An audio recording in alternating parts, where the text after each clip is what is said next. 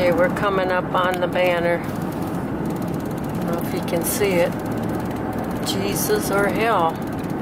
Wow. Look at that. I wonder who put that up there. There you go, guys. Another idea for you. See you later. Bye.